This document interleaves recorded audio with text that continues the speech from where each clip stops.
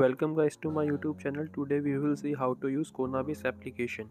Just download and install APK from given link and open that APK. Now it will ask for permission. Just allow the permission and a chipset list will be appear. Just select your own chipset and go to import section. Then import your configs from your internal storage. Locate your config and select which one you want to select like for extra screen on time or for extra performance you want to select? One of them at a time. If you guys want custom configs let me know in the comment section or you can join telegram for further help.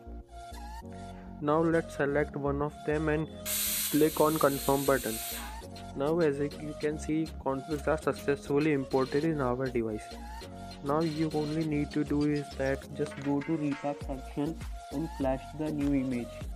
Now as you can see KonaBess app just making changes in boot.img which changes done by config as you selected for screen on time or for more performance as it is as you selected.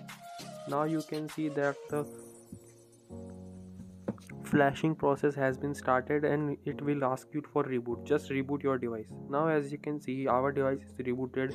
Just open the fkm manager app and select the gpu and select the minimum gpu frequency so that you can see our configs are working perfectly as we unlock different GPU frequency for underclocking and overclocking GPU as you can select any frequency you want but mostly it will automatically select for you. Like, share and subscribe are appreciated. Please join our telegram channel.